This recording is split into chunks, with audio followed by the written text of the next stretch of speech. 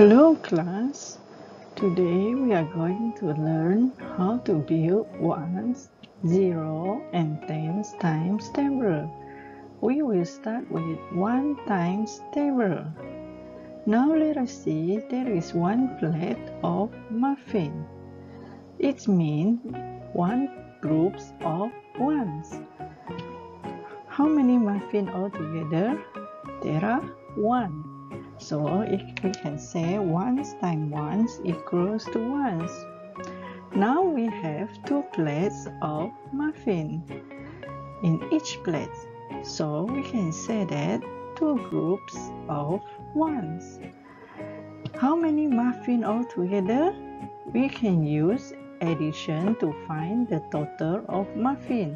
1 plus 1 equals 2 or we can use multiplications 2 times 1 equals 2 this means here 1 plus 1 we repeated 2 times so there is 2 times with 1 because each group here has one muffin so 2 times 1 equals 2 here we have three plates of one muffin in each plate.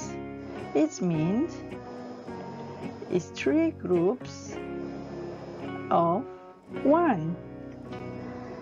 So how many muffin altogether? Yes, we still can use repeated addition to find the answer. 1 plus 1 plus 1 equals 3 or we can say 3 times 1 equal 3 because we have 1 plus 1 plus 1 3 times. So we can say 3 times. Or 3 here represent 3 groups. So times 1 1 here means 1 muffin in each group so the multiplication sentence will be 3 times 1 equals 3.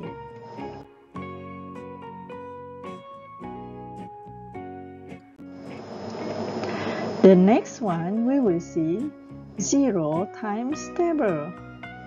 Yes, now we have one plate or one group. Do we see any muffin inside the plate? Yes, there is no muffin inside the plate but we still have one plate. And we can say this is one group of 0. So the answer will be 0. 1 times 0 equals 0. Here again we have two plates, but there is no muffin inside. But we still have two groups of 0. So what is the answer? Yes, we still have 0. 0 plus 0 equals 0. Or we can say 2 times, because we have two groups, times 0. Because there is no muffin in the plate. So the answer will be 0. Here again, we have three plates, but there is no muffin inside.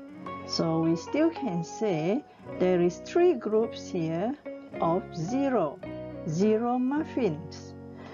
So we can use repeated addition 0 times plus 0 plus 0 equals 0 or we can say that we the next one we will see tens times table.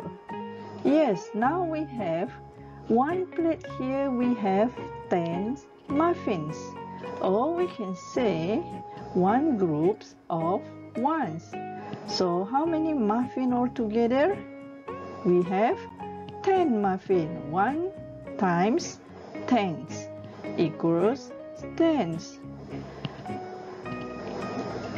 Now we see we have two plates of tens muffin in each plate. So this means two groups of tens. How many muffin altogether? We can find the total of muffin by doing addition. Tens times 10 plus tens equals 20.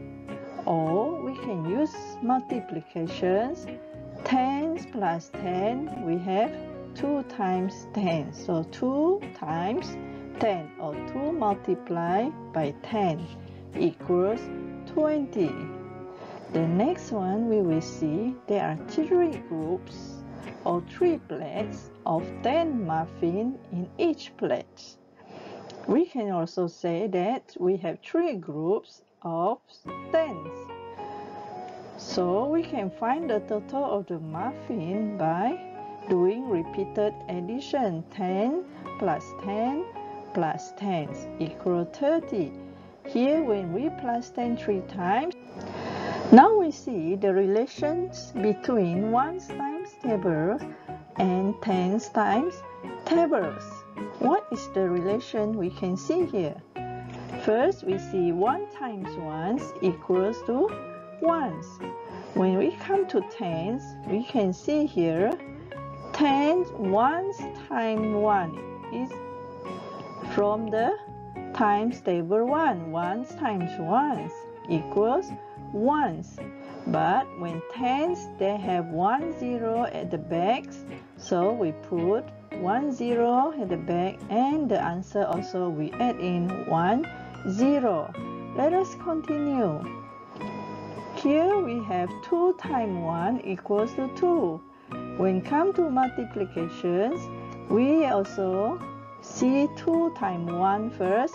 The answer here is 2 but we when we come to tens we have 1 0 so the end of the answer we add in 1 0 this is the relation that we can see for ones times table and tens times table. Let's continue. 3 times 1 equal to 3 so when 3 times tens we get the answer 30 4 times 1 equals to 4. So the relations, we can see it. Can you answer this question? Let us try. 6 times 10 equals to 60. 6 times 1 equal to 6. There is 1 0 at the back, so we add 1 0 at the back of the answer. Here again, 8 times 10 equals how many? So we can see here we use 1 times table. 8 times 1 equals to 8. Now 10 we have 1 0. So the answer we will add 1 z 1 0. So become 80. Now we see another question. 9 times with how many equals to 0. Can you still remember the 0 times table? What numbers times with 0 will become 0? Yes, you are right. 9 times 0 equals to 0. You have to remember any number times with 0, the answer will be 0. The next question is 6 equals to how many times 6? Or we can say 6. How many times 6 equals to 6? So how many times 6? We can get the answer of 6. Yes, very good. That's the end of our lessons today. Thank you. See you again. Hope you enjoy the lessons.